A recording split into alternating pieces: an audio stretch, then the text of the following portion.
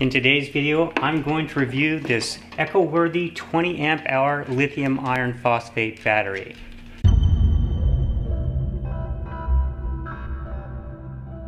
Now, I love lithium iron phosphate. It's one of the best chemistries out there. It's a little heavier than lithium ion, not quite the energy density, but it's super safe. You can cycle thousands of times.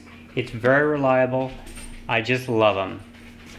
So previously I had reviewed this lithium iron phosphate battery. This is rated at 12 volts. Of course, there's an, a voltage range. We got 12.6 to 14.6, something like that.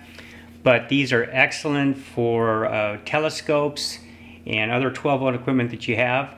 My primary purpose is to run my uh, Skywatcher EQM 35 Pro and all of the accessories. Now, if you remember, I bought this one in the past because I needed something to travel with. This meets the TSA requirements because it's below 100 watt hours. This one's rated at 6 amp hours and it has a 5 amp current capacity. So that's just barely enough to run the Skywatcher.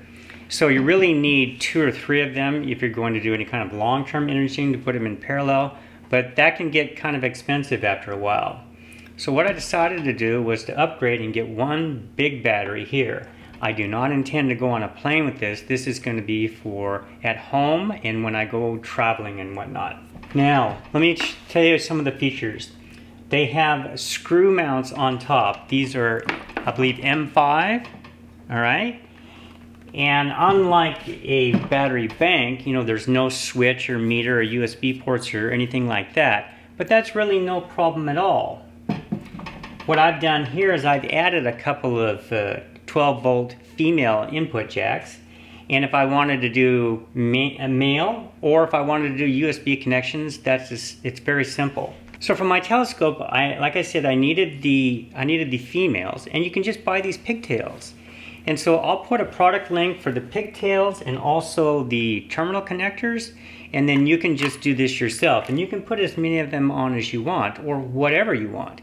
You can also easily do a USB port. That's no problem at all. That just requires a different adapter. Now, why did I get one that's 20 amp hours? Well, 20 amp hours is about right for my purposes, for my mount and my accessories. If I shoot from say 9.30 till 4 o'clock in the morning, I use about 6 amp hours. But what this battery can do is that this can do a 20 amp continuous discharge rate. So that means that if you're running dew heaters and uh, your equipment and your focusers and everything else, and then you go to slew, you have enough capacity, at least for my particular mount, because EQM 35 Pro requires a minimum of 4 amps to slew. And you have to have that 4 amps available and you're on the edge if you're doing just one of these. But when I bought this, I didn't have as many accessories and it wasn't quite as critical and I wasn't trying to do it as long. So this one can just barely do it and I really would recommend two or three of these if you're in, in parallel, if you want to do it this way. But anyway, 20 amps gives me enough capacity that I can do this all night long. And I've been shooting all week with this and it just works beautifully. I'm, I've just been basically going to bed and not worrying whether I'm going to run out of capacity or not because it has never run out the entire night running all of my equipment. And so it has been just great. Now to charge it, you are going to need a lithium iron phosphate charger. Now when I bought this one, it came with a, I believe a 1 or 1.5 amp, and I've just been using that. And here it is right here, and then I put a little tag on that says it's for lithium iron phosphate and then I just simply plug it in and charge it. Now it's pretty slow and so that takes me about six hours and that of course is how I know that it's about six amp hours because that's what it takes to fill it back up. But you can easily get uh, some more powerful ones and this can accept up to 20 amps charging. But be sure you get the right chemistry. Don't use lithium ion, don't use lead acid, uh, the problem with lead acid is that lead acid batteries have a float function and that does not work with lithium iron phosphate. You can use a lead acid battery charger in the beginning when it's low, but you can't really use it at the end because it'll never shut off. It'll just sit there and float at about 5, 15 and a half volts, and that's way too high. It shuts off at 14.6. And so you want to use the right charger. Okay, so let's talk about the physical dimensions here. This weighs 5.7 pounds or 2.6 kilograms. And so, I mean, you know, it's not that heavy. I can carry it around with one hand, so it's really not that big a deal. And then if we look at the dimensions here, we got about seven inches this way, three inches this way, and about six and a half high. So this is more than just a battery. It has a built-in BMS. So it's not like we're simply buying cells. And what the BMS is going to do is it's going to um, set a limit to how far that you can discharge it and it probably has one set to how far you can charge it. I can't test the high end because it goes off uh, automatically on the charger itself, but I'm pretty sure that there's a limit. And it's also going to limit the current, and it probably has reverse polarity protection, but it, I don't really know. I've looked at the data sheet, but most BMS systems have all of those basic features. But anyway, I think that's pretty handy to have it built in because you don't have to worry about absolutely destroying the battery by over discharging it. It will shut off and it will go to sleep, but you should be able to wake it back up if you happen to over discharge it.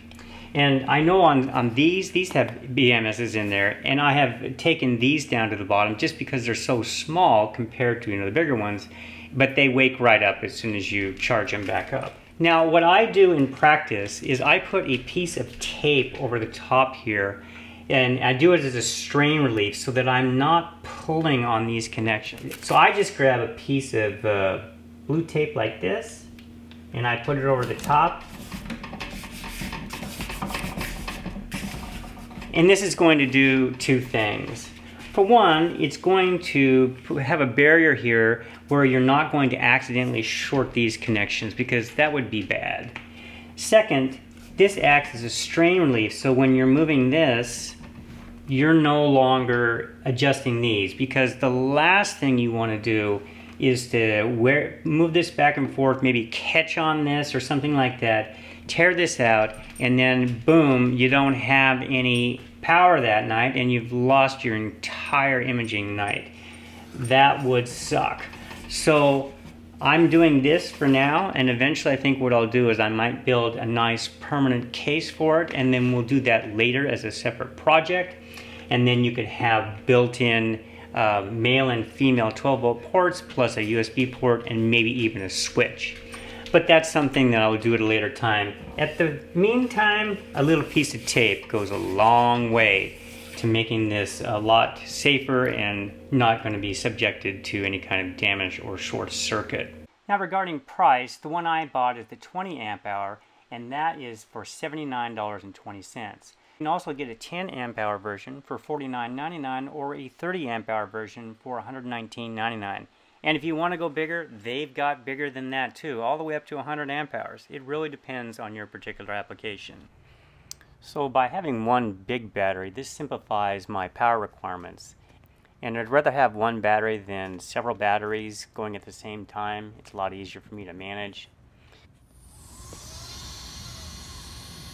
And what I like best about it is its high current draw, a total of 20 amps at any one time and that really works great for my application. So the product link is in the description below and thanks for watching. If you haven't already subscribed, please do so if you'd like to see the updates.